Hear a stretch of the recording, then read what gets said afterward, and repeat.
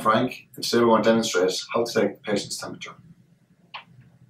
Taking a patient's temperature is one of the four primary vital signs. It's important that you familiarise yourself with the types of thermometers that you have in your local practice. For this demonstration purpose, we're going to use the contactless thermometer and also the tympanic membrane thermometer.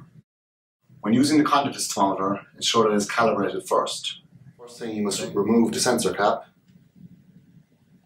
and then face it towards the patient's forehead and press the analyze button.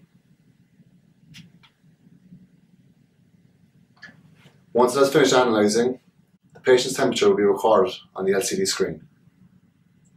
The average healthy temperature for an adult is 36.5 to 37.5 degrees Celsius. The tympanic membrane thermometer. Firstly, turn it on. Then with your free hand, raise up the tip of the patient's ear. This will strengthen the ear canal.